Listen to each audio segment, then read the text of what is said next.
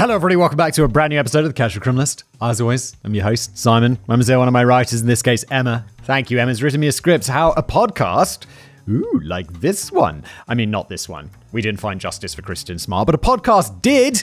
So let's find out about it. I've never read this before. That's the format of the show. We're going to learn about it together. Let's jump in.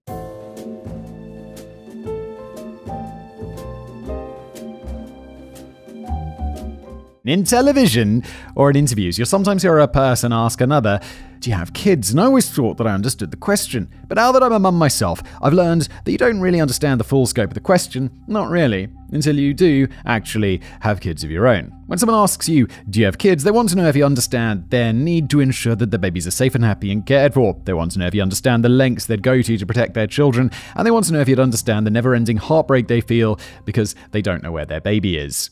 Um, yeah. Also, I'll ask the question like, do you have kids? Because I'm just interested. Do we have that in common?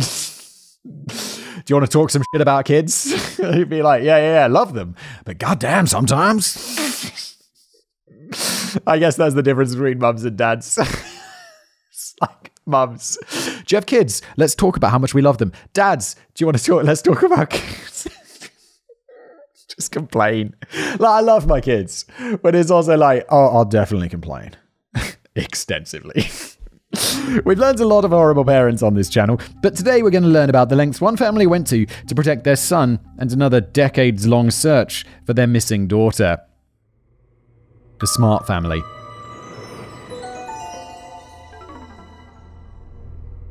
Stan and Denise Smart were both educators and have taught at schools all over the eastern coast for decades. In February 1977, they were based at an American military base in Augsburg, Germany, and after months of struggling to fall pregnant, the couple were looking to adopt a German boy. But then Denise did fall pregnant, and they welcomed a dark eyed, blonde baby girl into the world who they named Kristin Denise. After having spent three years in Germany, they returned to the US, and according to Stan, oh, we had what everybody expects when you go to Germany. You come back with a Volkswagen, a cuckoo clock, and a child.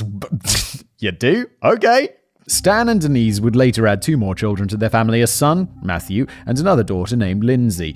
They were a typical middle class American family. They went hiking on the weekends, went to the beach during the holidays, went on family cruises, and traveled all over the US. They moved to Stockton, California when Kristin was 11 and bought a house there. Sounds very nice. Sounds like nice, like little life going on. Sounds pretty chill. I like that. Go to the beach. Easy. The teenage Kristin did well academically, was part of the swim team, played volleyball, and made friends easily. According to Stan, Kristin participated in sports for the fun of it and didn't have the competitive spirit that her younger siblings had, but she still cheered them on from the sidelines. Kristin loved to swim, spent hours in her room designing floor plans for houses, and travelled whenever possible. that was a weird hobby that I had when I was a kid. Like, I'd draw like I don't know if I wanted to be an architect or whatever, but I'd just happily be just drawing buildings, like with rulers, not like the outside just like the layout of buildings on like graph paper. It's kind of a weird thing to do, I guess. She spent a holiday in London with friends, spent a summer as an exchange student in Venezuela because she wanted to improve her Spanish, and learned to make omelets the way the chefs did on cruise ships. Kind of weirdly specific. What's that? It's a cruise ship omelette. What? So, so it's just an omelette. okay. I've never been on a cruise, but is there some special thing about cruise ship omelettes? According to Anna Marie, one of her childhood friends, Kristin was smart and friendly, but quiet. She was also tall, measuring in at just over six feet. Wow, that is tall for a woman. And was self conscious about it. As she grew older, Kristin adopted the bohemian or hippie look that was popular in the 90s, added little braids to her hair, and loved listening to Bob Marley, Tom Petty, and rap music. After graduating from Lincoln High School, Kristin worked as a lifeguard and a camp counselor at Camp Mokuleia in Oahu, Hawaii. According to Rachel Bird, who shared a cabin with her for three months, Kristin was tall, beautiful, blonde, a surfer girl, like really chill. She was a sweet girl. She loved being out in the water. Anytime she could go and do search and rescue or anything like that, she wanted to be out there doing that. After spending three months working her dream dog, Kristin moved to San Luis Obispo in California in September 1995 and started attending the California Polytechnic State University, aka Cal Poly. According to Stan Smart, we thought that would be a good place for her. We thought it was a safe community, you know? And it is.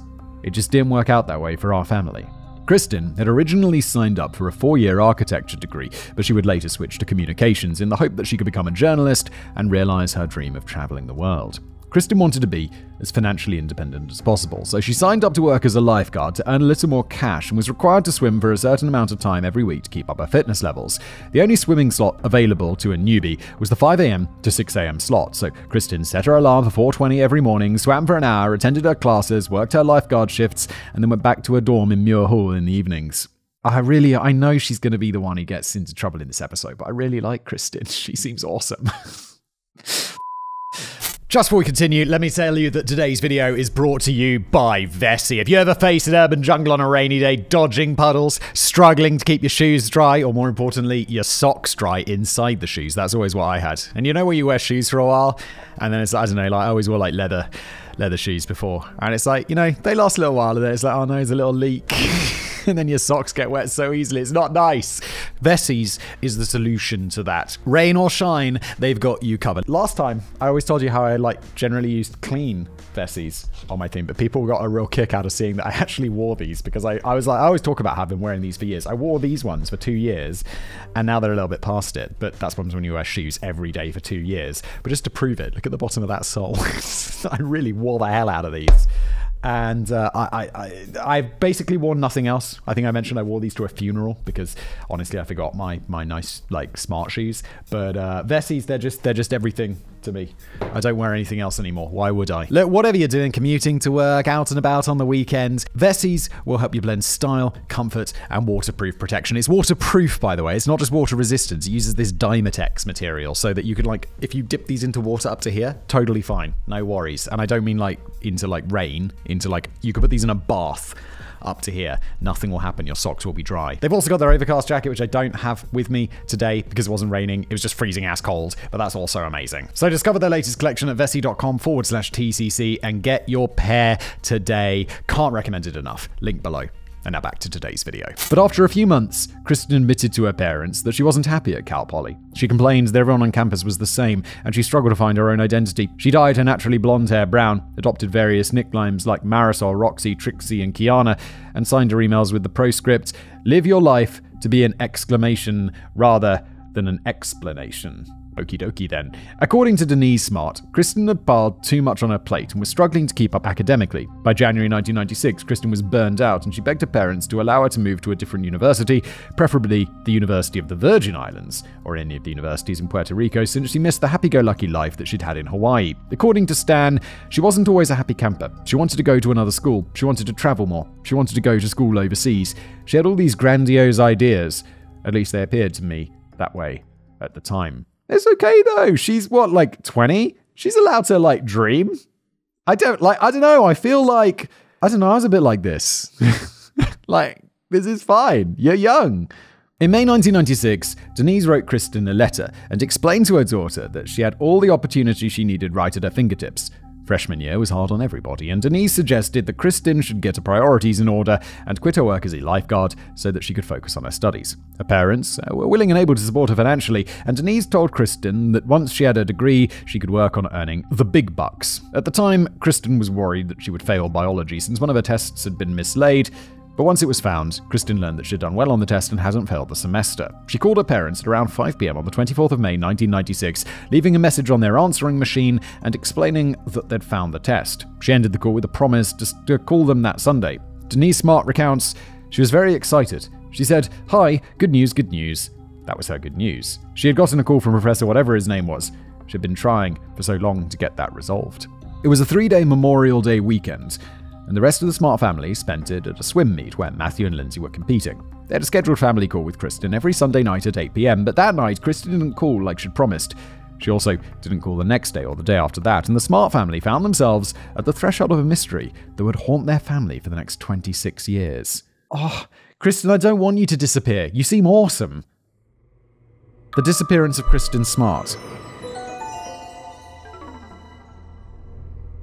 Margarita Campos was one of Kristin's neighbors in Muir Hall. She was very busy studying for a biology test when Kristin waltzed into her room that Friday night and asked to borrow a cassette player. Kristin used Margarita's double cassette player to create a mixtape for herself and eventually managed to convince Margarita that they had to go out and party that night. Margarita eventually agreed, and they joined up with two more girls who lived down the hall and had been invited to a private party. When they left Hall at 8.30 that evening, Kristin was wearing a grey crop top, black Roxy Brands board shorts, and red Puma sneakers. She had nothing else on her and had lost her room key, so she depended on Margarita to let her back into Muir Hall. The four girls waved down a friend of theirs, and he took them to a house party in his truck. According to Margarita, they each received a beer when they arrived and then stood around and watched as a bunch of guys play video games. It wasn't exactly the kind of party they were looking for, and after finishing their beers, Margarita and Kristin left. That night was such a chill night. It was such a quiet night in San Luis Obispo, and it was just like a couple of us driving around in a truck around town, and I'm pretty sure Kristin was the one who said, just drop Margarita and I off here, because we're going to just keep walking around. By 10 pm, they still hadn't found a party, and Margarita was tired and needed to pee. She told Kristin that she wanted to go home. After debating a bit, Kristin was upset and finally told Margarita that she was going to continue looking for a party. Margarita handed Kristin her dorm key, said goodnight, and headed back to Muir Hall. I could still see her standing there after we dropped her off, a little mad that I wouldn't go with her. Someone who wasn't as independent as Kristin wouldn't have gone to a party alone. Yeah, I'd say that's pretty like. I'd never do that, and I'm a dude. Like, not to say that women can't do the same things as dudes, but like, I don't know women are more vulnerable. And that's not sexist, is it? I worry about some stuff these days, but I'm just trying to say, like, I don't know, if my wife or I was out alone at night, like, if my wife goes out to meet her mates and is coming back, I'd be more worried about her. And she says, like, I'm worried about you too. And it's like, yeah, but I'm less likely to get, you know, guys, not, not you know, you know what I mean? You know what I mean? She kept saying, You go with me, but I didn't want to go. I told her, You better be careful, and she said she would be fine. Then she said bye. I was a Girl Scout for many years, and you're supposed to use the buddy system, and I was just tired that night. And she didn't come back. Not too long after the girls separated, Kristin made her way to 135 Crandall Way, otherwise known as the Crandall House, where a birthday party was being held for two seniors of the Kappa Chi House. Trevor Bolter was one of the 20 people who had been invited to the party, and when he arrived at around 10:15 p.m., there were maybe 15 people hanging out either inside the house or on the lawn out front. Later, there would be between 45 and 60 people at the party. When Trevor walked into the house, there were a handful of guys playing pool, People stood talking next to the bar, a few were dancing, and it wasn't long before a tall, dark haired girl in a grey crop top and black board shorts drew Trevor's attention. According to Trevor, she walked up to him and introduced herself as Roxy. She kissed him, dragged him into the bathroom, and then dropped his hands. She explained that she had a crush on a basketball player who was also attending the party, and Trevor realized that she was just using him to make the guy jealous. She fixed her makeup, asked Trevor if he thought she was ugly, and then asked him who he thought she should go for the basketball player or one of the other guys who lived in the house. When he offered his own services, Roxy laughed him off and then told him to leave because she needed to use the bathroom. Savage. Trevor admits that it felt disappointed that she wasn't interested in him, but when he closed the bathroom door behind him, a guy with short blonde hair came up to Trevor and demanded to know what he and Roxy had been doing in the bathroom. Thinking that that guy might be Roxy's boyfriend, Trevor insisted that nothing had happened, and the guy started laughing before telling Trevor that he thought Roxy was sexy, reassuring Trevor that the blonde guy was just some idiot.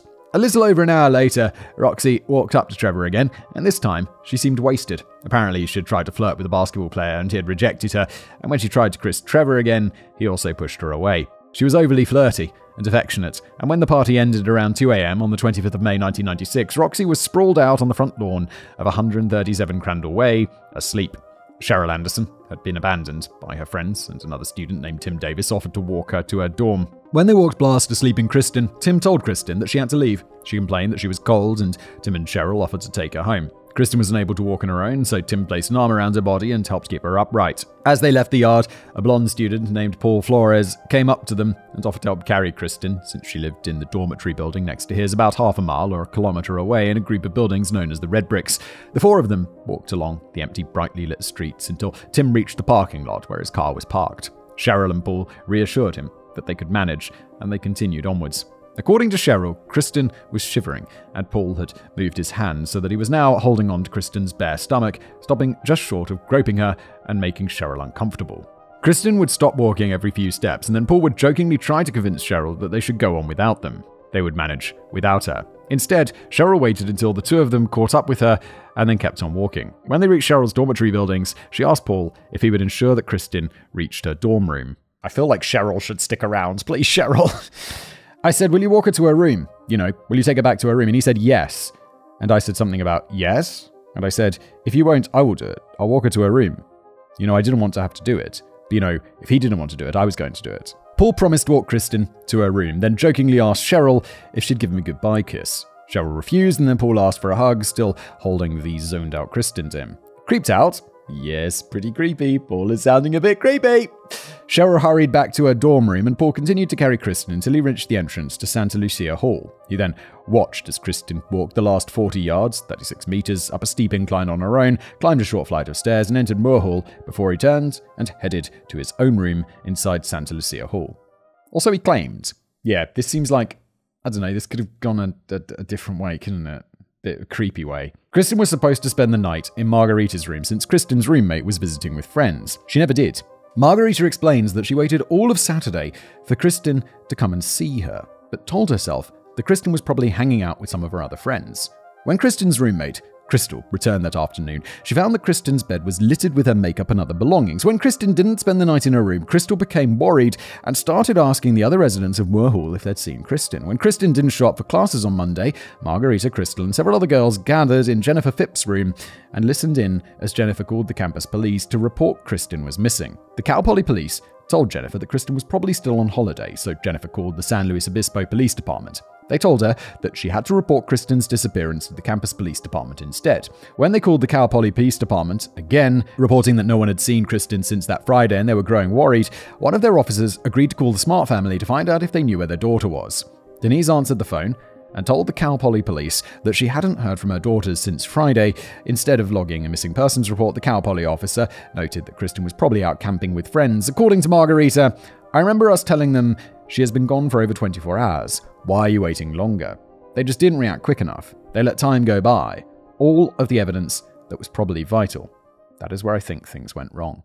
Yeah, I mean, the police must have to deal. The, the thing with missing persons, right, is there must be so many that then turn out to be nothing. So the police in this situation must be like, oh my god, we've heard this like a thousand times before, and like a thou- one time out of a thousand it's something, but 999 is nothing. So, like, I don't know whether to be like, this is just clearly negligence and bad policing, or whether it's just like, well, this is how it's always happens. I don't know. It's not good either way, I guess, but like, I don't know. Cal Poly Police finally opened a missing persons report on Tuesday, the 28th of May, 1996, and started investigating Kristin's disappearance. Crystal told Cal Poly that all of Kristin's belongings were still in her room her clothes, ID, money, cards, and red makeup bag. That's mega suspicious. If someone's not taking their ID and money, it'd be like modern day if someone's phone and bank card are missing, uh, or like they've gone and their phone and bank card are still there, that's incredibly suspicious. I'll be like, what? what? People don't not have that stuff with them. That's the stuff they have, or like keys or something. The next day, Trevor Bolter was visiting friends at the Kappa Chi fraternity house when one of them asked if he remembered Roxy from the party that Friday night. They told him that the police had been asking questions and asked that anyone who had any contact with her come forward. They also sent out questionnaires and asked students who thought they might know what had happened to Kristin to complete the forms and hand them in. Cal Poly Police eventually managed to track down Cheryl Anderson, Tim Davies, and Paul Flores and interviewed all three of them on the 30th of May 1996, five days after Kristin was last seen. On the surface, they all told a similar story. Tim Davies, a senior, explained that before that night, he'd never met Kristin before. Cheryl Anderson, a freshman, explained that she'd often seen Kristin around campus, but that she didn't know her. And Paul Flores, another freshman, explained that he didn't know Kristin and that he didn't find her attractive. All three of them told the police how they'd escorted Kristin home. All three of them explained that Tim had left first and that Cheryl then left Kristin alone with Paul. He admitted to being the last person to see her, but insisted that he had nothing to do with her disappearance. Paul repeatedly told the police that he and Kristin had parted ways at the entrance to Santa Lucia Hall and that, quote, she walked that way and I walked to my dorm. Paul claimed that after he and Kristin parted ways on Saturday morning, he went back to his dorm and tried to sleep, but he threw up at around 4 in the morning. He then took a shower and went back to bed, and he was sure that someone saw him walking down the hallway, although he didn't know who. He spent the day watching TV, and on Saturday night, he and a few friends went to a movie, but he couldn't provide the police with the full names or addresses of his friends who acted as his alibis. Yeah, I have to say, like, this is. it doesn't feel not familiar. It reminds me of my student days and be like, yeah, go to a party, get pretty drunk, try and go to sleep, too drunk to sleep. Then the next day, just be like, oh, I'm just going to watch shows all day.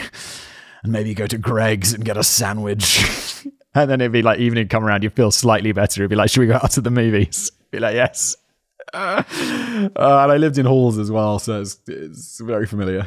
On Sunday, his father picked him up, and they spent all day in his father's garage working on his truck before being arrested by the Arroyo Grande police on Sunday night for not appearing at a hearing for DUI charge.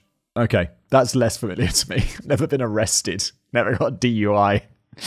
But Cheryl told the Cal police officers that she had already been familiar with Paul before that night. She'd often seen him on campus and thought that he was kind of creepy. They often, Cheryl, you just left her, you left your mate with the kind of creepy dude. Don't do that. They often attended the same parties together, and when he was drunk, Paul would flirt with anyone in a skirt and make a nuisance of himself. He had a habit of forcing himself on girls and trying to kiss them, or groping them without their permission before laughing it off like it was a joke. Dude, this is Cheryl, you left your mate with creepy Paul. Like, what the fuck?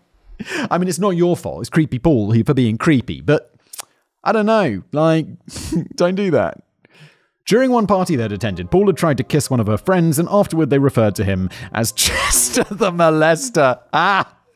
Which begs the question if she already knew what kind of guy he was, why did she leave Kristin with him? Yes, yes. I love that nickname, Chester the Molester. Tim Davies told the police that he'd seen Paul, I mean Chester, hanging around Kristin the night of the party. At one point, he'd heard a crash and saw that Kristin was lying on the floor in the hallway, and Paul was sprawled out on top of her trying to kiss her. He didn't know if she'd fallen or if Paul had pushed her, but it agreed with other eyewitness accounts, which explains that Paul had been hovering around Kristin all night. Trevor Bolter was also brought in for questioning, and he had told the police about his introductions with Kristin that night. He told them how a blonde guy had confronted him after he left Kristin in the bathroom and had demanded to know what they'd been up to. When he was shown a photo of Paul, Trevor identified him as Blonde Dude. An Australian exchange student had reported that he'd been heading home on his bicycle when he saw a man and a tall girl argue in front of Sequoia Hall, which is situated next to Santa Lucia and Muir Halls. Cal Poly detectives interviewed one of Paul's friends, and they told the police that on Saturday night, Paul had a black eye, several scratches on the back of his hands, and rug burns on his knees. And when they asked him if more guys had tackled him at the party for being inappropriate with their girlfriends, Paul said that he couldn't remember how he got it. He simply woke up with it. When the Cal Poly detectives brought Paul in for questioning on the 31st of May, he told them that he got the black eye when playing basketball with his friends on Monday. When he was questioned again on the 19th of June, they informed him that they have people who testified that he already had the black eye on Saturday. He denied it, and he told the detectives that he got the black eye when he changed the stereo on his truck at 2 a.m. on Sunday morning, not Sunday afternoon like it originally claimed. Dude, what are you doing? You can't just change your story like that. When the detectives called him out on the lie, he explained that it's not really a lie, it's a fib. It's so minute, you could probably call it a white lie. Bro, you're talking to the police. Also, how are you getting a black eye changing your radio in a car? Bang! Oh no! Again, he recounted his version of the events of that night and insisted that they had nothing to do with Kristin's disappearance, his stutter becoming more pronounced as he waffled between his different versions of what had happened that night. Uh oh. Two detectives outright told him that they didn't believe his story. Yeah, and threatened him with a polygraph test. But Paul shrugged it off and explained that they could think whatever they wanted but he had to go. He'd promised his mother that he would help her clean up some concrete rubble from her backyard that afternoon at 4 pm, and it was getting late. And despite numerous eyewitness accounts, despite Cheryl's testimony, despite the fact that Paul was the last person to be seen with her, despite his black eye, despite his lack of verifiable alibi, and despite the fact that Kristin was still missing, Cal Poly police initially reported that the 19 year old Kristin was a girl with loose morals who hadn't been happy at Cal Poly. What the f? Um, how about Instead of judging her, you do your fing job. It's not like, oh yeah, she disappeared because of her loose morals. No, no, no. No, no, no. They concluded that she'd simply ran away and would reappear eventually. The fuck? The, the, in this creepy Paul. Look into creepy Paul more. On the 31st of May, their report went as followed. Quoting, victim attends party and does not return home afterwards, does not contact friends or family, and skips school. During the course of my investigation, I have spoken with many people who have been associated with Smart. They've all told stories that agreed with each other. The stories have all included the following information. Smart does not have any close friends at Cal Poly. Smart appeared to be under the influence of alcohol on Friday night. Smart was talking and socializing with several different males at the party. Smart lives her life her own way, not conforming to typical teenage behavior. These observations are in no way implying that her behavior caused her disappearance, but they provide a picture of her conduct on the night of her disappearance. Wait, this is the police. Okay, and it says the observations are in no way implying that her behavior caused her disappearance. But that's kind of exactly what you're saying when you say she ran away and she's got like loose morals and shit. So, how about police? Stop doing that and start doing your job. By the end of June, they'd labelled Kristin as an adult missing under unusual circumstances. They elected to hand the case over to the sheriff's office. Convinced that the police weren't serious about finding their daughter, the Smart family did what they could to find Kristin. Denise called everyone she could think of, including the sheriff's office and the FBI, and camped out next to the telephone. Stan drove to San Luis Obispo every weekend and searched dump sites, sewage pipes, hiking trails, and abandoned houses for any sign of his missing daughter. Denise spoke to every reporter, journalist, private investigator, and psychic who was willing to help them look for Kristin. They kept a notebook by the phone in Kristin's room and logged every lead and piece of information that came their way. They even hired a trained dog handler whose job it was to follow up on any and all leads that the Smarts received. Years went by without any sign of their daughter, but Stan and Denise told their friends and family and the Stockton Record that they wouldn't rest until they found Kristin. Quote, You live because you can't give up. Because it's not just a battle to find your daughter, it's a battle to have the right thing done. It's a battle to have people do their job. You're goddamn right. Active and ongoing.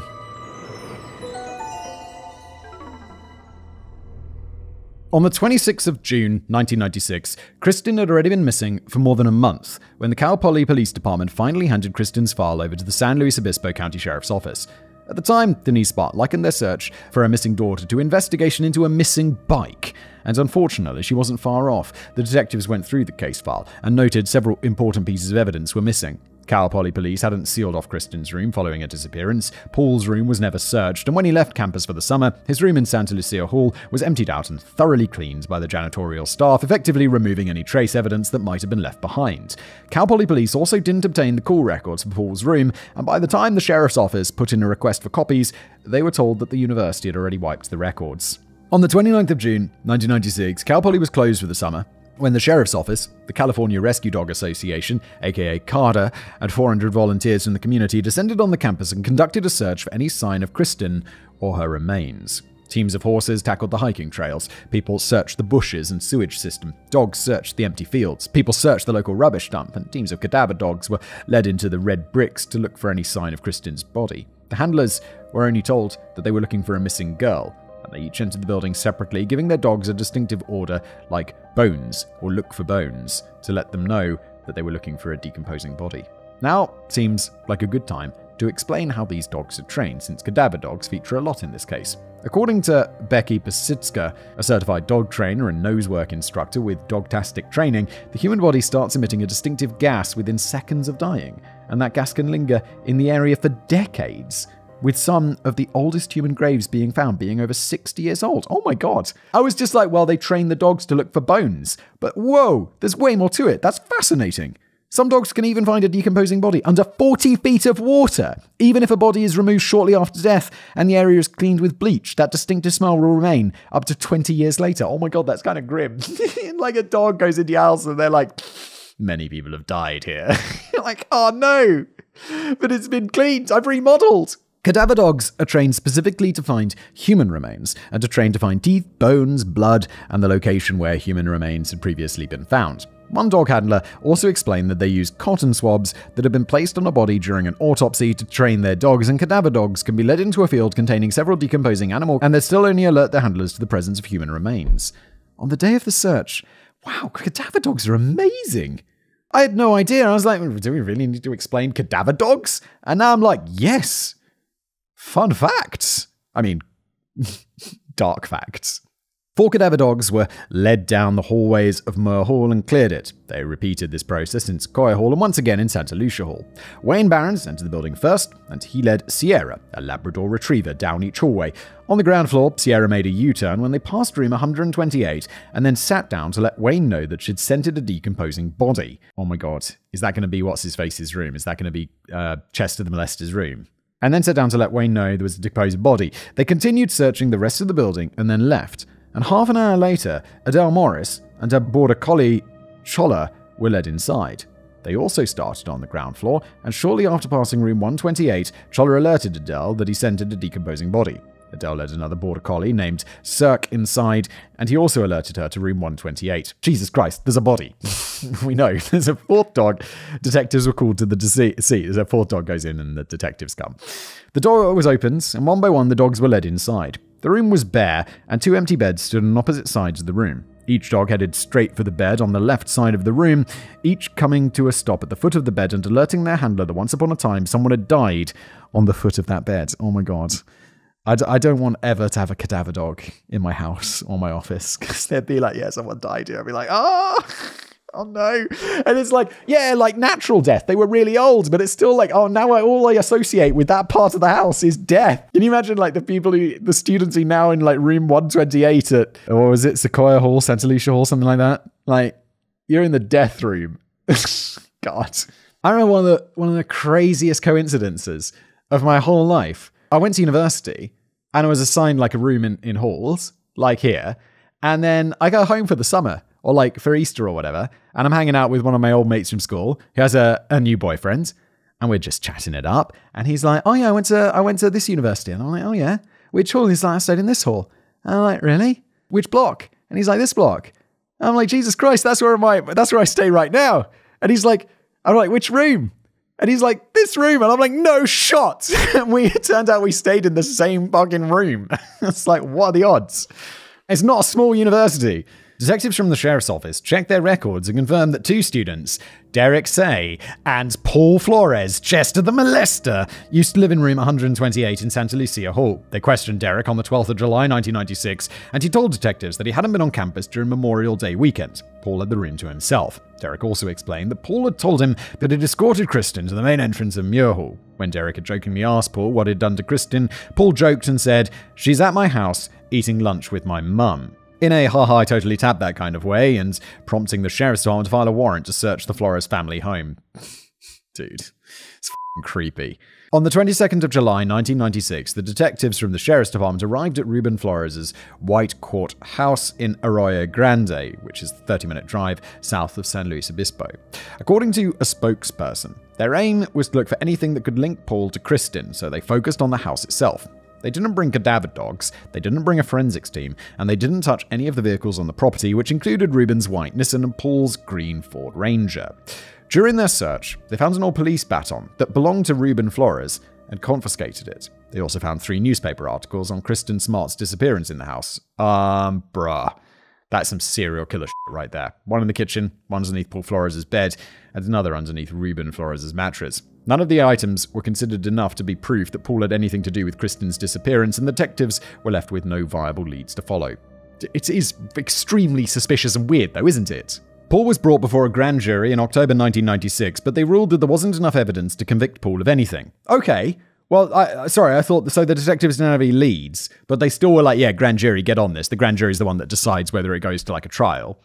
And okay, so fair enough, but that you know that's what the grand jury's for. In late October 1996, a woman named Mary Lassiter called the San Luis Obispo Sheriff's Office and told the officer on duty that she had a possible lead in the Kristin Smart case.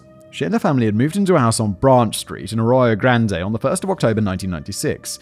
The house is owned by Susan Flores, and after moving in, they started receiving a number of threatening postcards in the mail. All of the postcards urged the reader to convince their son to come clean to the police and help the Smarts to find Kristin's body. Oh my god, who knows who did it?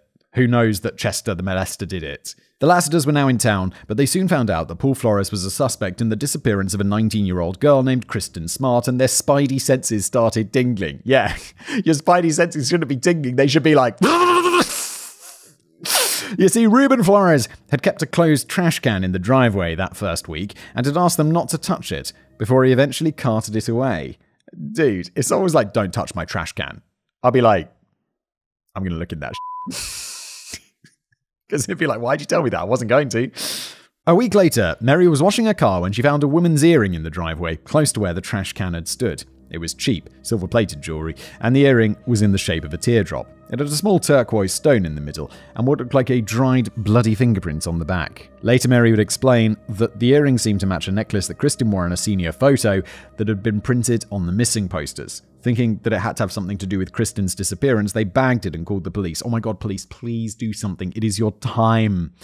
A burly detective came to see them and asked questions about the earring. They handed the earring over, and Mary explained that apart from the earring and the threatening postcards, there was something else that the detective should know.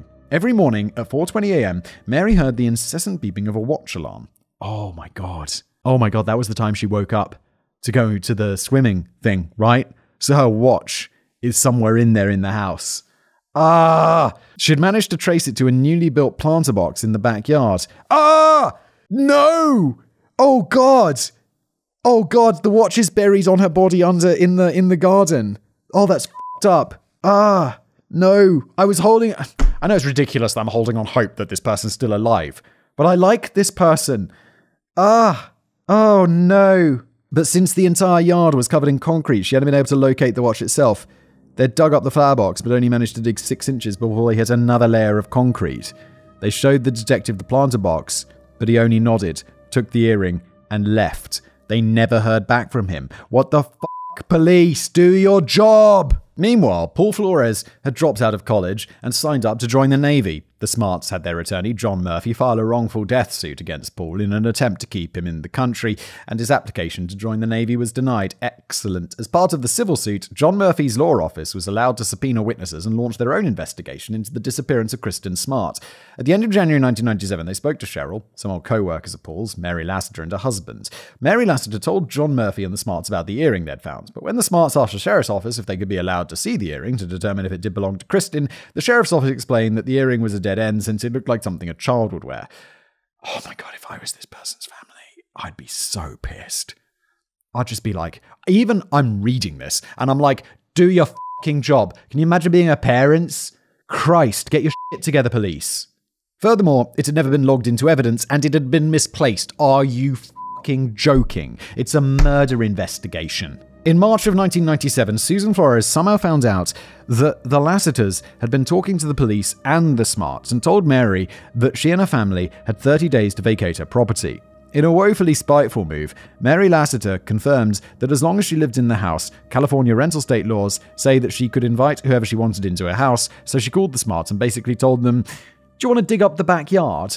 Fucking legend. Let's in go. On the 3rd of March 1997, John Murphy arranged for Carter cadaver dogs and a geologist armed with ground penetrating radar, or GPR, to search the Branch Street house property. Once again, we've reached a valuable teaching moment, since ground penetrating radar is also going to come up a lot in this episode. According to Dr. Larry Lawrence, the guy who literally wrote the book on ground penetrating radar, the ground is hard, and the longer it's left alone, the harder it is. Once you dig up a section of the ground, you loosen the dirt, and if it's then left alone, it will harden again, but it won't be as hard as the surrounding area. GPR sends waves into the earth and measures how hard the ground is. Changes in the hardness of the area pop up on the GPR, and things like rocks or pieces of concrete will pop up as an anomaly. Bones and human remains can't be found using GPR since bone is porous, but GPR can be used to identify a recent burial site. During the search of the Branch Street house, the dogs cleared the house, the attic, and the crawl space underneath the house, but when they entered the backyard, they alerted to the area where Ruben Flores had kept the trash can. The geologist then scanned the yard, but he also came up empty and explained to John Murphy and the Smarts that his equipment was thrown off by the concrete that filled the backyard. But he did note that a portion of the yard had been dug up recently and that a pile of dirt had been piled against one of the walls. The neighbors also confirmed that shortly after Kristen's disappearance, Ruben and Paul Flores had done some construction work in the yard, and the Lassiters confirmed that the suspicious planter box measured 6 feet by 3 feet. Dude, and that nothing would grow in it. In essence, they still had nothing but suspicions, and John Murphy submitted their reports to the sheriff's office. On the 23rd of May 1997, almost a year after Kristin had gone missing, Sheriff Ed Williams told the San Luis Obispo Telegram Tribune that, quote, We need Paul Flores to tell us what happened to Kristin Smart. The fact of the matter is, we have very qualified detectives who have conducted over a hundred interviews, and everything leads to Mr. Flores. There are no other suspects. So, absent something from Mr. Flores, I don't see us completing this case. How about you go dig up the backyard? Just go do it. What the fuck? And Paul Flores took the sheriff's advice. On the 19th of November 1997, Paul, Ruben, and Susan Flores finally showed up for depositions that had been arranged by John Murphy. Ruben and Susan answered all the questions posed to them, but whenever Paul was asked a question, he responded with, On the advice of my attorney, I refuse to answer that question based on the Fifth Amendment of the United States Constitution. So it's like the right to, not the right to silence. Is it right to silence? The right to, like, against self incrimination or whatever? Where you're just like, I plead the Fifth. There you go, pleading the Fifth. Staying, shutting your face. Just over a year would pass before the DA's office made another concerted effort to investigate Kristin's disappearance and called the FBI for assistance. Fucking finally! FBI, be the heroes in this story. You're very good at shit. Go in there and show this sheriff's office how shit is done. January 1999, the FBI re interviewed Paul, his father Ruben, and a number of witnesses, and together with the sheriff's office, they started working through Kristin's case file again. During their investigation, oh, wait, we know who the hero to this story is. It's a podcast, it's not the FBI. Come on, FBI, don't let me down, though. This is your time to shine, FBI. During the investigation, they came across the report submitted by John Murphy, and at 8 a.m. on the 19th of June 2000, they handed Susan Flores a search warrant that read Reasonable cause exists to believe that Kristin Smart's body is buried in the backyard of Susan Flores' home on Branch Street. Yes! They basically had permission to do whatever they wanted that day, and they brought their own GPR devices to scan the yard. The garage had been built where the trash cans once stood, and it was packed full of boxes and other rubbish. When the GPR expert tried to scan the area, he noted that the floor had been reinforced with iron rods and that they played havoc with his equipment. They didn't find any signs of a grave in the backyard, and that evening, the detectives decided they weren't going to dig up the backyard. Just dig it fing up! Just how much effort is this? Just go knock down that bloody shed, give them a couple of grand to rebuild the shed, assuming that you don't find a body, uh, assuming that everything's fine, but just dig that shit up for God's sake. Later, it'd be suggested that they didn't want to be liable for fixing the yard up again. Just pay for it. It's not. It's just the taxpayers' money. How much is it? It's not much. You're the government. You have infinite money. Find the body! When they left the Branch Street house at 5 pm that afternoon, the search warrant expired and the sheriff's office would never be able to search the property again. Why not? You can't issue a search warrant again? It's like some double indemnity. Uh, double indemnity? Double immunity? What's it called? Ah, oh, what's that called? Double jeopardy. Thank you. On the 25th of May 2002, Kristin was legally declared dead and the Smarts started raising funds to erect two billboards to raise awareness regarding her disappearance. What's this a fucking Chester molesters all out and about, even though it's like super, super, super suspicious? One was placed in front of John Murphy's law office, and the other was just down the road from Susan Flores' house on Branch Street. When the billboards were erected in April 2004, Denise Smart told reporters that, We want to keep Kristin's memory alive. Billboards are the only way we can remind people that she's still missing after eight years. It's the only gift we can give to her to make sure she's not forgotten. In 2011, Ian Parkinson was elected as the new sheriff of San Luis Obispo County Sheriff's Office, and from the get go, he applied for permission to appoint detectives who'd be solely responsible for investigating cold cases, including Kristin's. Excellent, Ian, I like you already, let's go! Detective Clint Cole was appointed as the lead investigator on the Kristin Smart case in or around 2016, and he tackled the daunting task of going through thousands of reports and familiarizing himself with Kristin Smart's case. It later explained that since Sheriff Parkinson took over in 2011, at least 80 new search warrants have been issued, 8 new locations have been searched, 114 new pieces of evidence were found, and 91 new witnesses were interviewed. And yet, they still weren't any closer to finding out what had happened to Kristin Smart. The podcast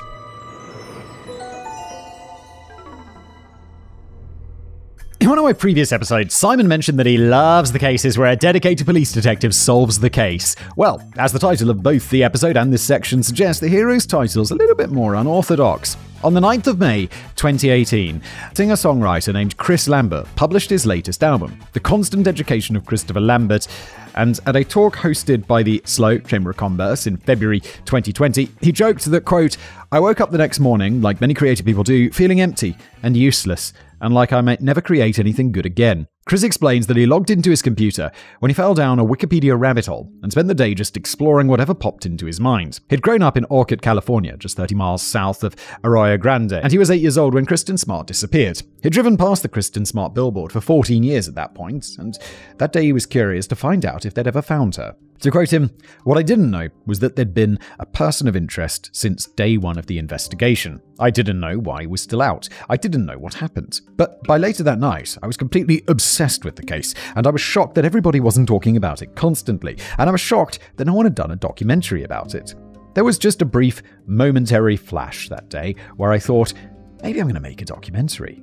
And then I pushed that away like a lot of people do. I'm a musician, I don't do things like that. Not to mention, I'm quiet, I'm awkward, and I'm not a professional anything at all. Chris became obsessed with the idea of finding justice for Kristin, and he spent the next year and a half learning everything he could about Kristin's case. A friend told him that she'd gone to high school with Paul and offered to introduce him to people who provided him with insight into who Paul Flores was. It gave him access to the kind of resources that he needed to really sink his teeth into Kristin's story, and for the first time, Chris believed that he was in a position to help bring about justice for Kristin Smart.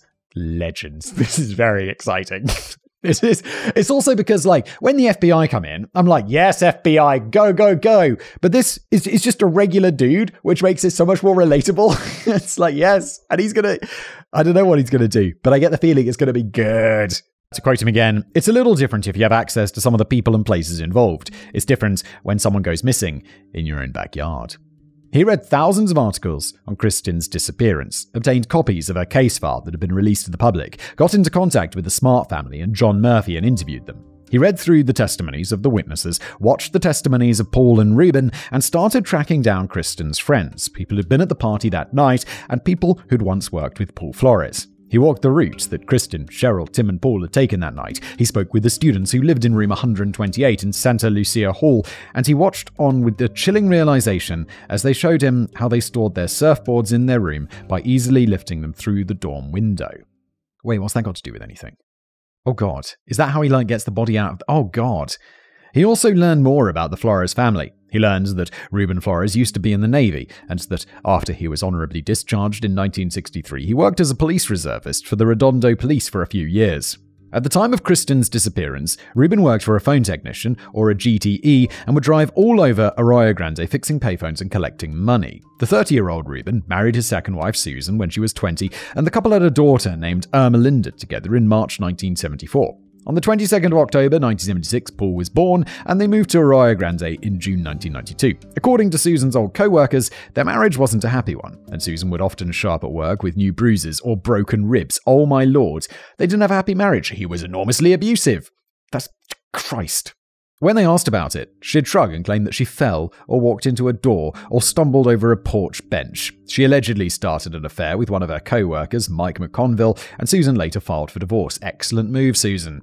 She and Ruben were officially divorced in April 1996, but on the night when Kristin disappeared, Susan was spending the night at Ruben's house and would move back in for a few months after leasing out her Branch Street house to the Lassiters.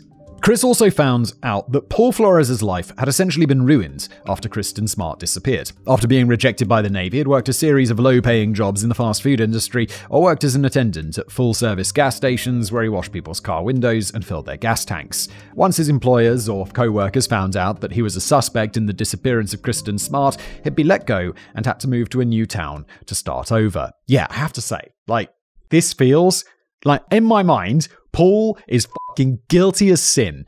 If it turns out he's not, I'll be pretty surprised. But also, he's not been proven guilty of anything. They didn't have enough evidence. So should his life be ruined? Should he be fired all the time because of this? Because there are going to be plenty of people in Paul's position who didn't actually do the crime. It's pretty intense. He eventually settled down in San Pedro, lived in a house that his parents had bought for him, and still relied on them to support him financially. Many of his neighbors thought that he was just a quiet guy, but noted that strange people would take pictures of his house, leave threatening messages for him, and that journalists often came by asking questions about him. Chris also learned that after Sheriff Ed Williams outed Paul Flores as a suspect in the disappearance of Kristin Smart, both Susan and Ruben were hounded by the media as supporters of the Smart family for over two decades. That's not fair, they're just the parents. And I know Ruben seems like a bit of an abusive piece of shit, in my opinion, allegedly, but still, not really cool, guys. They protested in the streets outside their homes, took photos of them, held candlelit vigils in Kristin's honor on their front lawn, and of course erected a billboard with Kristin's face next to Susan's house. Even though both Ermelinda and Paul had done their best to escape their community's scrutiny, Susan and Ruben both chose to stay behind in Arroyo Grande. According to Chris, quote, their lives have been anything but peaceful there. With a population of just over 15,000, most people in town know who they are, where they live, and what they've been accused of. Were they uh, how were they involved? There was something about the trash can, right? Like, were they involved in helping, like, cover up the crime? And they, she's uh, apparently buried in the backyard. So, yeah, definitely weird. The quote continues If you're in your 70s, your nearest family member is 200 miles away, and the residents of your neighborhood are constantly eyeing you with suspicion, why would you not move somewhere else? Anywhere else. I can only come up with two reasonable explanations. The first is that they love Arroyo Grande, I mean, really love it, that, or they're afraid to leave because they're protecting something. On the 30th of September 2019, Chris released the first episode of his new podcast titled Your Own Backyard. The first episode, A Face on a Billboard, was published on the 7th of October, and it was followed by The Only Suspect. Every week, a new episode was released Their Own Backyard, Son of Susan, The P, and the sixth and last episode was posted on the 11th of November titled Ongoing and Active. And in these episodes, Chris sheds light on a side of Paul's personality that few people have been aware of. He was always staring.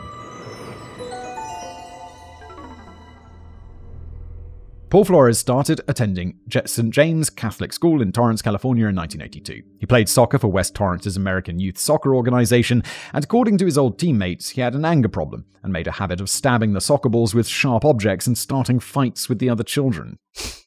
what a psycho. Fucking hell. Susan ran a daycare from our home at the time, and according to one of the mothers, the other parents had called her one afternoon in a panic, telling her that the 11 year old Paul had tried to drown her daughter in the swimming pool. Christ. Quoting, he really was fixated on my daughter, and on some of the pictures of the birthday parties, it's like he's always right there, like almost hovering over her. And I don't think she even noticed it because she didn't pay attention to him. She was just always avoiding him. All the kids were in the pool, and Paul was in the pool, and he was trying to get her attention, and she just kept going to the other side of the pool to stay away from him, and apparently that upset him. He pushed her under the water, and then was on top of her, and wouldn't let her up. And then all the kids started yelling at him to let her up, let her up, and he wouldn't. He was very angry. My daughter remembered that somebody came out and dragged him out of the pool and goes, I don't remember if it was Susan or if it was another adult that was there. The quote ends. The mother collected her daughter and when she confronted Susan, she simply shrugged it off and explained that Paul was just playing with her daughter and that they were making a big deal out of nothing. By the time Paul started middle school, the other kids started describing him as being creepy and weird. According to a woman who played Little League with him, quote, there was a team directory that went around that had everybody's phone numbers and everything in it. And for a long period of time, I was getting prank calls on a nightly basis, and whoever it was was was asking for me and breathing. It was scary. Little by little, word got out that it was Paul who was calling, and it was not just me who was calling. My brother had to have a conversation with him and let him know to knock it off. As he got older, Paul turned into a bully and would often pick fights with other kids for no reasons. In 1992, a 16 year old Paul was involved in a fight with a 13 year old boy named Nick Spritzer at his school. According to Nick, Paul used to bully him constantly, and that day, Nick decided to stand up for himself. I started to fight back and I think it turned into a shoving match. At some point, that turned into a wrestling match, and we were on the ground, and he was stronger than me. So he fairly quickly dominated me. Yeah, you're 13, he's 16. That's a huge difference at that age. Nick managed to kick Paul in the face, and Paul rolled away. Nick rolled over to get up, and, quote, while I was still on my shoulder, he jumped up and stomped on my head. By the time Paul was pulled away, Nick was rapidly losing his vision. His father rushed him to their pediatrician, and, quote, Our pediatrician apparently told my parents that she watched me deteriorate in front of her eyes. They then rushed him to the hospital, and by that time, Nick didn't know who he was. He couldn't speak, and he had no control over his body and blacked out. I was in and out of consciousness for several days. I was in the hospital for a total of five days.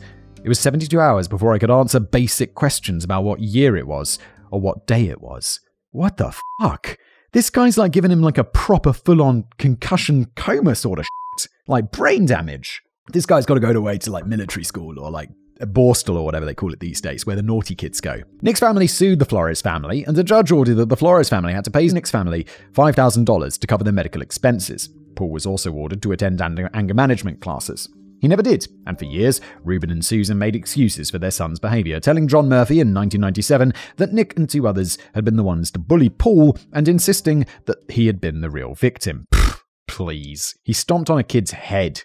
Either way, the Flores family moved to Arroyo Grande and purchased the house on White Court in June 1992. Paul was enrolled in Arroyo Grande High School, and Susan brought him a brand new iridescent green Ford Ranger pickup truck in 1993. The truck was his pride and joy, and he used it to rack up several traffic violations for speeding, tailgating, reckless driving, and disturbing the peace. The teenage Paul wasn't unattractive. He had fair skin, blonde hair, blue eyes, and started to build muscle once he joined the football team. He was loud and boisterous, and his stutter only made an appearance when he was nervous or unsure of himself. But he struggled to make friends and the other teenagers would refer to him as Creepy Paul, or Scary Paul, or Psycho Paul. Later on, Chester the Molester. If these are your nicknames, you know, adjust your behavior. If people call me Psycho Simon, I'd be like, Jesus Christ, why do people call me that? I should adjust myself to appear less like a psycho. Or maybe psychos just don't care. Chris spoke to some of the women who went to school with Paul, and they explained that he would stalk the girls, leave flowers on their doorsteps, or phone their homes and breathe heavily before putting the receiver down. All of them told Chris a variation of the phrase, He was always staring, or he always stood there watching. Paul was never invited to parties, and yet he always showed up ready to have fun. He'd get drunk and then aggressively flirt with the girls at the party. When they rebuffed him or ignored him, he'd get angry and attack them, and he often ended up in a fight with more than one pissed off boyfriend. One girl recounted how after she told him she wasn't interested in him, Paul called her a cock block. I haven't heard that phrase in a long time. Before he picked her up and body slammed her on the floor. What the fuck is going on? What the fuck? She had the wind knocked out of her. Another girl rushed over to help her, and then a group of guys tackled Paul, knocked him around a bit, and made sure to let him know that it wasn't okay to treat a girl like that. Yes. Fucking yes. I'd definitely join in in that shit. It's like, oh, we as a group gonna beat this guy up. Yeah, we are. Let's go. He knocked another girl from a deck into a garden, resulting in being forcefully escorted from the party. Dude, after you got beaten the shit out of at a party for knocking a girl down, it's time to leave. And if you don't leave, I'd like to think that that group of boys who beat you up come around and beat you the fuck up again. And another girl recounted how they'd found him fleeing one of their classmates after she'd passed out in one of the bedrooms. In 1995, Paul barely made it into Cal Poly and signed up for a food science degree. He failed all of his classes except a bowling elective, but excelled at trolling campus parties. Another woman, let's call her Lisa, later contacted Chris and told him that she was convinced that Paul Flores had drugged her friend. Quoting, Sometime in March or April 1996, I was going to Hancock College, and my boyfriend at the time played football at Cal Poly, and so I frequented parties in San Luis with him and his teammates. At one of these parties, Lisa made friends with a Cal Poly student that she'd often seen at these parties. Let's call her Katie. Lisa and Katie hang out at the party, and at one point, Lisa lost track of her. An hour or so later, she heard a blonde guy yell from a bathroom, Somebody get in here and help this girl. Lisa walked over and saw that Katie was lying on the bathroom floor. She was pale and foaming at the mouth. She wasn't wearing any pants. Her underwear was shoved down her legs. She had soiled herself and was vomiting on the floor of the bathroom. Lisa shoved the blonde guy out of the bathroom and started to help Katie clean herself up. While she was giving Katie a cold bath to wake her up, the blonde guy walked back into the bathroom. Lisa yelled at him to get out, and he claimed that he'd come to take out the trash. He had a marked stutter as he explained that he was a friend of Katie's, and they only wanted to help. Lisa yelled at him to get out, so he took the trash can and left. Lisa wrapped Katie in a towel and had one of her friends escort her home. And when she asked the other partygoers if anyone recognized the blonde guy, they all told her they had no idea who he was. He'd just shown up uninvited. It was not until I saw him on one of the news programs stuttering and I saw his face. Then that's when I knew that that was the person who was in the bathroom with her initially, and also the person that came back into the bathroom to take the trash out. Going to college and all those parties, I'm thinking, no guy cares about taking the trash out in the bathroom at a party. The quote ends. Lisa Chris and some of Paul's old co workers all suspect that Paul had used eye drops to drug the women at Cal Poly and later in life. Eye drops. Really? According to the American Academy of Ophthalmology, eye drops typically contain a chemical known as tetrahydrozoline, or THZ. Really? And when ingested, it can result in drowsiness, slow breathing, a slow heartbeat, and even a coma. Oh my god, I had no idea that eye drops could do this. What? According to a case study published in Science Direct in September 2012, if you mix a few drops of THZ with alcohol and drink it, it can cause you to appear heavily intoxicated. Science Direct don't publish that. I feel like if you just if you discover this, just be like, let's not talk about it. Let's just not mention that. Because people are definitely going to abuse that. According to Mount Sinai Healthcare System's website, too much of it can result in profuse vomiting, diarrhea, muscle weakness, low body temperature, seizures, a coma, and even death. Worse still, Chris interviewed a number of Jane Does who contacted him and told him that between 1998 and 2018, Paul Flores had drugged them, taken them to his house, and then sexually assaulted them. One woman who went into his house willingly had been drugged after she asked him for a glass of water. She then woke up to Paul shoving a red ball gag in her mouth and repeatedly assaulting her as she passed in and out of consciousness. She also claims that when she left his house the next morning, she angrily told him, When a girl says no, she means no.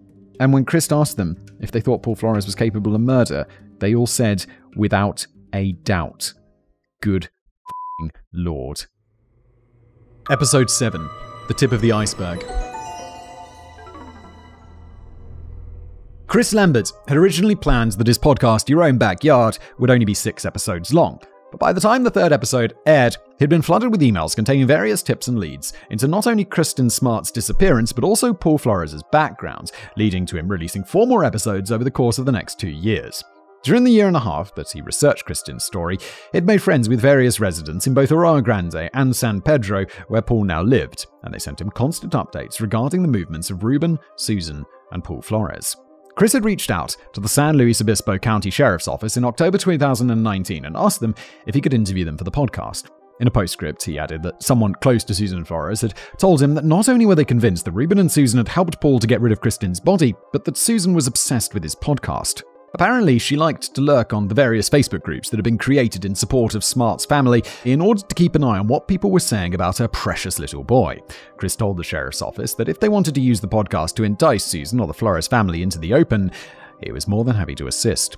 Chris received an email from Sheriff Parkinson to let him know that they'd consider his request, and then he didn't hear anything back. Unbeknownst to him, they'd called a planning meeting with the DA's office the next day and discussed possible strategies that they could use to get the Flores family talking about the case again, and it included listening to the podcast themselves. A number of tips had been called in soon after Chris published the first few episodes of Your Own Backyard, and some of them included references to the two trucks that the Flores family had owned when Kristin Smart had disappeared. Paul's green Ford Ranger and Ruben Flores' white Nissan. Chris had found out that shortly after Kristin's disappearance, Ruben had told a friend of his that he'd bought Paul a new truck bedliner for his birthday. Chris theorized that if they'd transported Kristin's body on the back of Paul's truck, it was possible that her blood or DNA would have been left behind on the bedliner, prompting Ruben to get rid of it. And since Paul's birthday is in October, Ruben's story that he bought Paul a birthday present in June is pretty suspicious. Back in 1997, John Murphy had also thought that this was suspicious, but when he asked Ruben in November 1997 where the trucks were, he explained that they'd sold Paul's Ford and that his Nissan had been stolen. Ruben also claims that the stereo that Paul had removed from his truck on the Sunday night after Kristin had disappeared had also been stolen, and Chris basically called bullshit. The trucks had never been searched, and with the help of the FBI, the sheriff's department managed to track them down and search them for any trace evidence. Unfortunately, they didn't find anything. In December 2019, the Sheriff's Office obtained permission to place a wiretap on the phones of the four former members of Flores' family Ruben, Susan, Paul, and Ermelinda. The warrant only allowed them to monitor the family for 30 days, so in January 2020, Detective Cole reached out to Ermelinda's ex husband, Brett, and asked him if he would be willing to talk to the police. Brett called Ermelinda, who called Susan, who then called Paul. Then Detective Cole went to see Ermelinda and handed her a letter as part of an immunity offer. In the letter, Detective Cole explained that when I started reviewing this case, I kept an open mind and assumed that Paul Flores was not involved in Kristin's disappearance. I now know for sure he is, and Kristin is dead, and so do you. Paul is very soon going to be in a position where he needs to tell us his story. This case will be solved soon. You could be the one who is responsible for ending this nightmare for everyone and move on with your life. Ermelinda slammed the door in Detective Cole's face, but a photo of the letter and the immunity offer made its way to Susan, Ruben, and Paul. Detective Cole later told Chris Lambert that this is one of the problems with wiretapping. Communication methods like email and WhatsApp exist, so the sheriff office had no idea what they were discussing online. But when they did talk on the phone, the detectives noted that they spoke in code. Well, not very sophisticated code, but they would use references like KS, MW, and you know who. But in the end, the sheriff's office had achieved their goal. The Flores family were talking to each other about the case, and a certain podcast was convincing both Ruben and Susan that time was running out. TikTok. On the 26th of January 2020, Susan called her son. Initially, their conversation was about everyday things how Susan's boyfriend, Mike, was doing, family news, a funny post about Paul that Susan had read on one of the Facebook groups, and an upcoming surgery that Susan had to undergo. Then Susan turned to more pressing issues. The Flores family had been in contact with their lawyers, and Susan needed Paul to call his lawyer and get his story straight. She also asked him to send the details of his policies and banking information so that if he did end up getting arrested, she could ensure that his affairs were in order. Then she told him that she and Ruben managed to put aside some money to pay for his legal defense if necessary, before explaining that she'd rather use that money for herself instead of wasting it on an effort to keep Paul out of prison.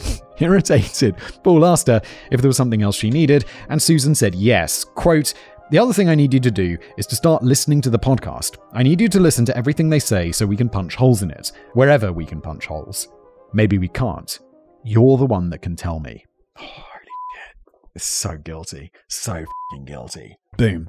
According to Detective Cole, quote, that gives Paul knowledge of what took place. Why else would they want to punch holes in it unless Paul actually knew what happened to Kristin? Sheriff Parkinson, Detective Cole, and the DA had finally what they needed On the 5th of February 2020, people all over the East Coast suddenly woke up with the news that Ruben's house, Susan's house, Paul's house, and Ermelinda's house had all been raided. The police seized all of their electronic devices, their cell phones, laptops, and computers, citing that it was possible they contained evidence that hadn't existed back in 1996. And they were right. And chillingly so. Wait, it's like, that's like 24 years later. What's going to be on this stuff? It's all must be much newer than that. Because despite the fact that most of their devices contained ordinary everyday things, Paul's Dell computer contained a folder titled Practice that supported the testimonies of the women that Chris had talked to. In it, the police found hundreds of photos and videos of drugged women with red ball gags in their mouth being assaulted by Paul. Not only that, but also hundreds of explicit videos and photos of kids. And it left no doubt in the police's mind that Paul was a sexual predator. The Meerkats.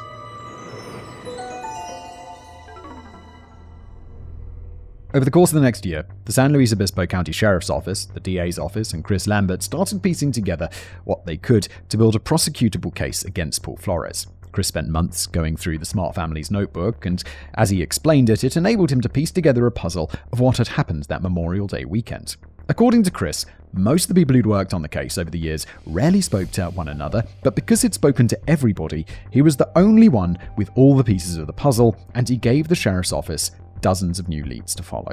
Detective Cole had requested that Assistant DA Chris Peuvrelle should be assigned to the case, and he immediately agreed. His wife was an avid listener of Your Own Backyard. It's amazing the, the, the reach and power of podcasts. And he started listening to the podcast as well, using it to test his knowledge of the case. Peuvrelle also reached out to Chris to get contact information for some of the women he'd spoken to, helping them to build a stronger case against Paul. On the 25th of November 2020, Chris released Episode 8, the 16 hour gap, in which he explained that between 2 a.m. and 6 p.m. on Saturday, the 25th of May 1996, nobody knows where Paul was. Chris's theory was that after Cheryl had left him with Kristin that night, Paul had tried to get Kristin to follow him to his room. She tried to fight him off because the Australian exchange student had passed them on his bicycle and saw her struggling against Paul. We know from Tim and Cheryl's testimony that Kristin could barely walk, and Paul managed to drag her to his dorm room, which was on the ground floor of Santa Lucia Hall. Chris speculates that Paul had tried to sexually assault Kristin, but ended up killing her instead. It has been suggested that he'd stuffed her mouth to keep her from screaming, but that the drugs had caused her to start vomiting during the attack and she suffocated. Panicked, Paul left her there and ran to his sister Ermelinda's house, covered in Kristin's vomit. She called Ruben, and Ruben raced to Cal Poly to help Paul. We know this because Susan complained to a colleague of hers that Ruben had ran out of the house that morning and wouldn't tell her where he was going. Early that morning, a woman saw two people running towards a suspicious red car that was parked outside the entrance to Cuesta Park in San Luis Obispo. Her description matches the convertible red Chevrolet that Ermelinda had been driving at the time, and it's been theorized that they'd dumped some evidence in the park. Search parties would later search the park, but they found nothing.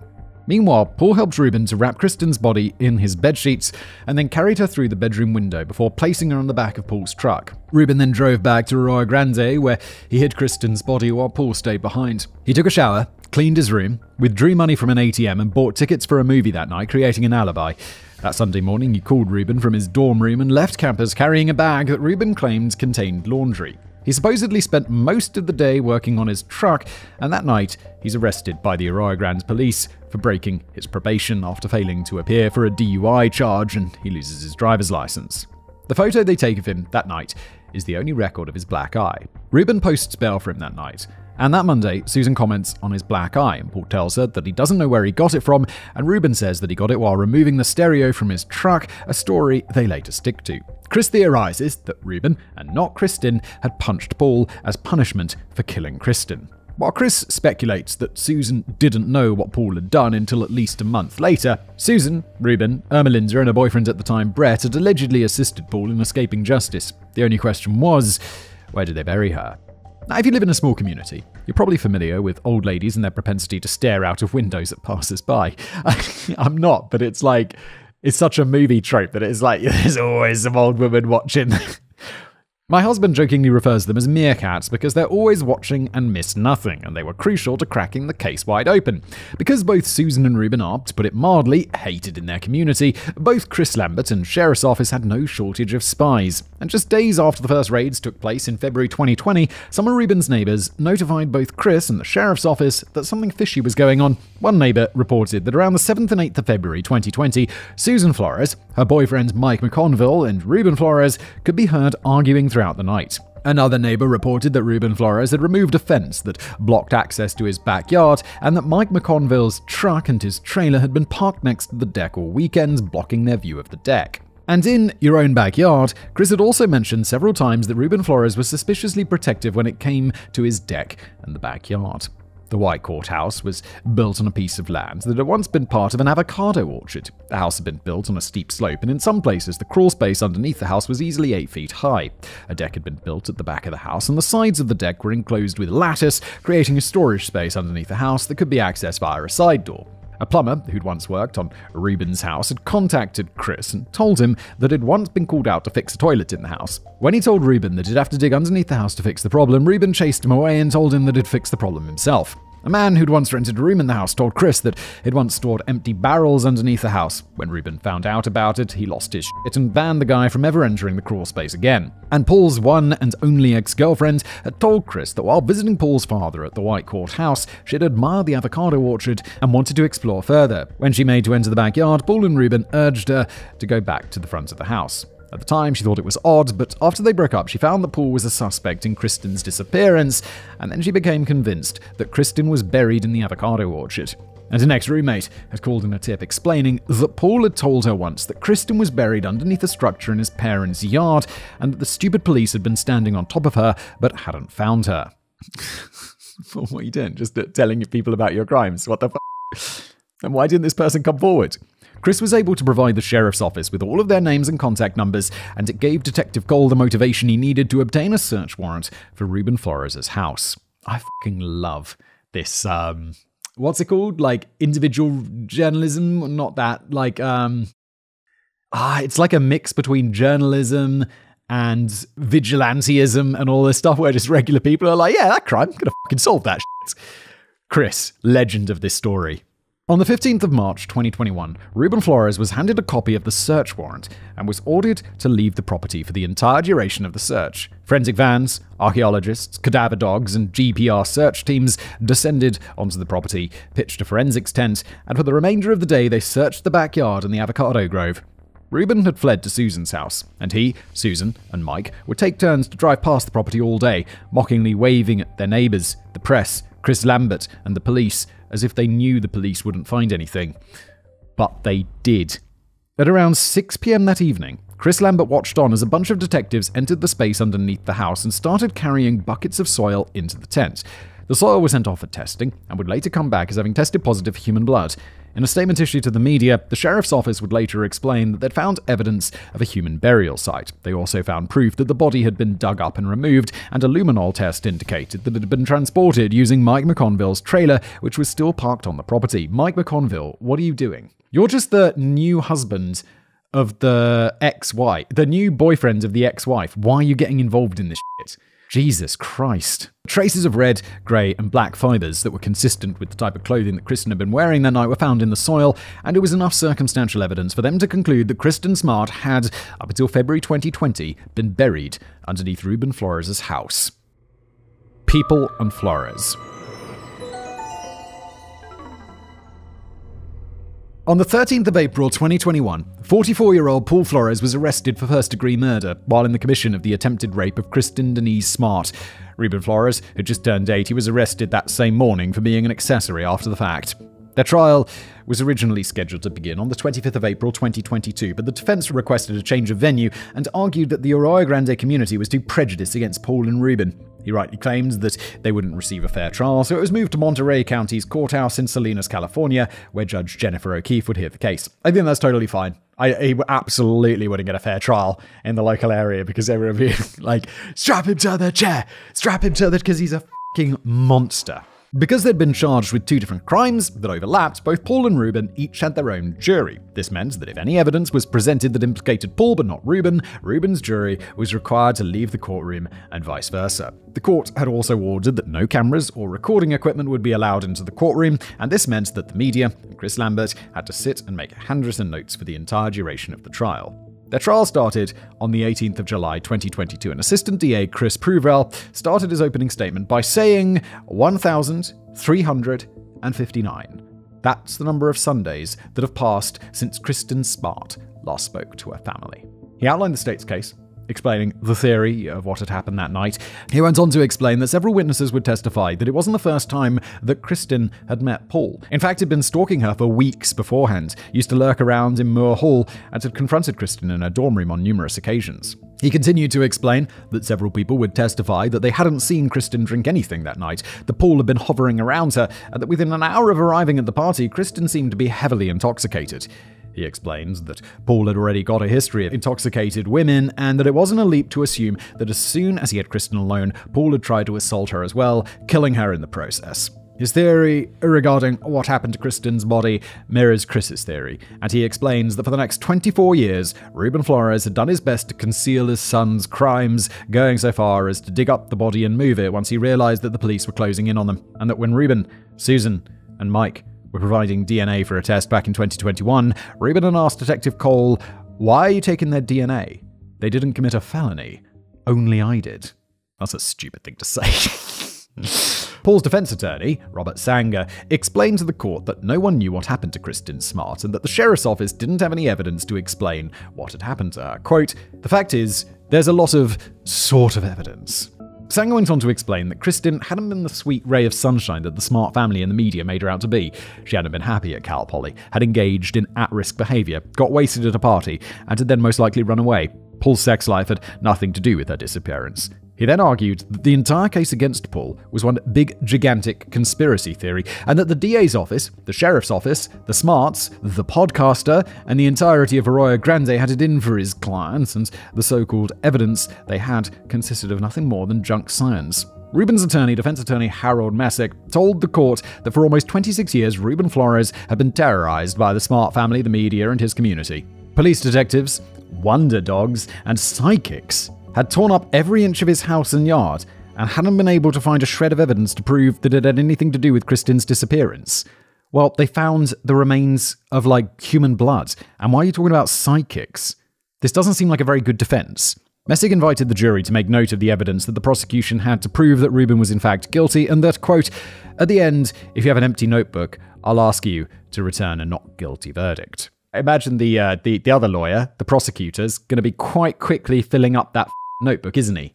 For the next 10 weeks, the court heard the testimonies of the Cal Poly witnesses, Kristin's friends, the dog handlers who'd searched Paul's room, and the experts who'd conducted a search of Ruben's yard.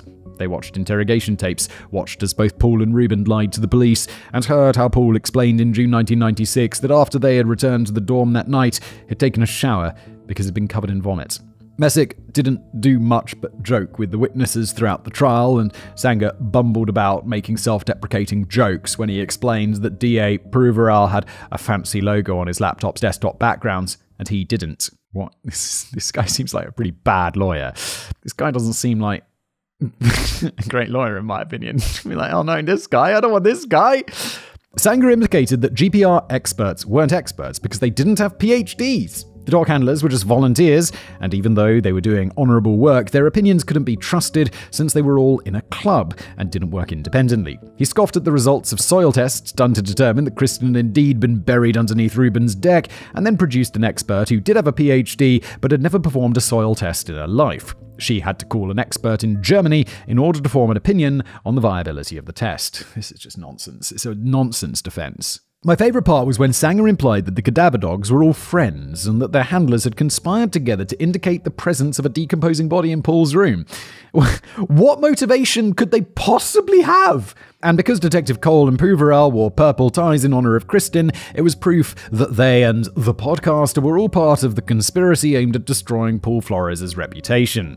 Chris, the prosecution, the jury, the public, and I all thought that Sanger was an idiot, but the media hailed Peuvrelle as a hero. He'd later admit to Chris Lambert that he'd followed Chris's live tweets of the case and had read the comments about the case, and then did his best to answer the public's questions whenever he called a witness to testify. In his closing argument, Sanger once again argued that the case was all a big conspiracy theory, and then blamed Kristin for what had happened that night by explaining that if she hadn't made a habit of getting into cars with boys, if she hadn't gotten drunk, and if she hadn't been dressed the way she was, uh, she would have been targeted that night. Bro, that is not. oh my god, if I was sitting in the dark being defended by this guy, I'd be like, oh, fuck. fuck. Kristin did nothing wrong by wanting to go out that night. She did nothing wrong by wearing a crop top and blackboard shorts. She did nothing wrong by wanting to enjoy the party. It was Paul who'd done wrong by stalking her, who drugged her, forced himself on her, dragged her into his bedroom, and then killed her. On the 18th of October 2022, both juries came back with their verdicts. Ruben Flores was found not guilty and free to go. Paul, however, was found guilty of first degree murder and was sentenced to 25 years to life in prison. Excellent. Too short. Life is how long without parole. And also, the fact that you've been walking around for God knows how many Sundays free is like, yeah, yeah, yeah. I'm glad you're in prison, you dick. Your own backyard.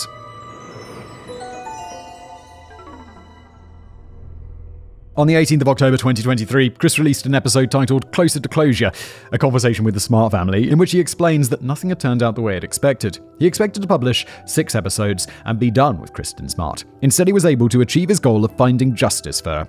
Chris seems far too humble to admit it, but Assistant DA Chris Peuvrelle, Detective Clint Cole, Sheriff Ian Parkinson, and the Smart family have all said that if it hadn't been for Chris Lambert, Paul wouldn't be in prison today. I agree. Chris Lambert's a legend. Thank you, Chris. I'm going to listen to your podcast as well. It sounds awesome. The Smarts explain that their victory over the Flores family is bittersweet. Even though they're happy that Paul can't hurt anybody else anymore, they still don't know where Kristin's body ended up. But they insist that they won't go up until they found Kristin. Their only wish is that the kids won't have to continue to carry the burden of their sister's loss once they're gone. Until then, they ask that if anyone in the Arroyo Grande area happened to see where either Ruben, Susan, or Mike McConville drove to over the weekend of the 7th and 8th of February 2020, they should please contact the San Luis Obispo County Sheriff's Office and help them finally put Kristin to rest. Why is Susan and Mike McConville? What are they doing? Didn't they get. There's no trouble for them. And why was Ruben not guilty? Bro, these people also deserve to be in trouble, in my opinion, allegedly. Dismembered appendices. Number 1. Following Kristin's disappearance, the Kristin Smart Campus Security Act was passed that requires campus police to involve law enforcement in any criminal investigations right away. Wait, are campus police not law enforcement? They're called campus police. I assumed this was like not just security guards, but like an actual police station that would exist on a large university campus. Apparently not. Number two, a case was opened by the LAPD to investigate the number of sexual assaults that Paul had committed, but they had trouble locating the women in the photos, lessening their chances of building a strong case against him. However, according to Detective Cole, those photos will form a part of Paul's file when he's up for parole in 15 years. 25 years to life? Why is he up for parole in 15 years? No! 15 years is not enough. Dude, he had pictures of women he had sexually assaulted and went the kids on his computer and he murdered someone. What the f? 15 years? And then possible parole? He better stay in prison. He better stay in prison. Number three. According to an article published by Vanity Fair in January 2023, Your Own Backyard has been downloaded over 24 million times. Holy shit. For those of you not in the, like, knowing about podcasts and stuff, that is a lot of downloads. I definitely recommend it, since I found it extremely satisfying that when Chris interviewed Detective Cole in episode 7, he still had no idea they were on the brink of solving the case, and that it's really, really good. Number four, on the day of sentencing, all of the media representatives held a mini ceremony and granted Chris Lambert the number one media tag to honour his efforts in finding justice for Kristin. Number five, After the trial, Chris met with some of the jury members who'd convicted Paul Flores. They'd all listened to his podcast, and they told Chris that they'd often felt left out during the trial because the attorneys often referred to the podcast, but they weren't allowed to listen to it. After listening to it, however, they feel that important evidence had been left out of the trial, but they feel more confident in the knowledge that they'd done the right thing by finding Paul guilty. Number six. One of Ruben's jury members was let go shortly before the jury returned a not guilty verdict. According to the jury member, he'd mentioned his struggle with the case to his priest, which isn't allowed. Later, one of the other jury members explained that they'd been in the process of convincing the others that Ruben was indeed guilty. If he'd been allowed to stay, it's possible that Ruben Flores would have been found guilty instead. Yeah, why wasn't he found guilty? I mean, I, I, I'd have voted guilty for him for sure. Number seven, John Murphy and his law firm assisted the Smart family in their fight for justice for Kristin for over 25 years. All of it pro bono. Legends. Respect. Number 8. From 2000 onwards, Paul's attorney met with John Murphy on numerous occasions to discuss possible deals in exchange for the location of Kristin's body, including involuntary manslaughter. Apparently, Paul wanted to get away with just a slap on the wrist, but the Smarts insisted that he pay for what he did to their daughter. Yeah, goddamn involuntary manslaughter! Come on! In return, they might have lost the opportunity to finally bring her home. Yeah, well, I'd rather he be in prison forever than them have the body, to be honest, because him, keep him in prison forever, as long as possible. Number 9. Denise Smart refers to Chris Lambert as her fourth child, and he's officially been adopted into the Smart family. God damn, that's awesome! Number 10. In Your Own Backyard, Chris explains that the Cal Poly faculty had failed Kristin after she didn't show up for her final exams. In 2020, students at Cal Poly started a petition and got Cal Poly to rectify their mistake. Number 11. Stan and Denise established the Kristin Smart Scholarship Fund in order to help young women reach for their dreams. It's entirely funded by public donations, and if you'd like to contribute, you can find all the necessary information on their website at kristensmart.org. Number 12. And lastly, this case was listed as for writing when I started working with Simon. So I guess thank you to Simon for recommending me the case. Oh, you're welcome. I did I don't even remember this. But I guess so. It's a long time ago. And that's where we end today's episode. Thank you so much for being here. Uh, I won't ask you whether you enjoyed it because it's horrible, but good news that is prison, hopefully forever. And uh, thanks for watching, thanks for listening, and I'll see you next time.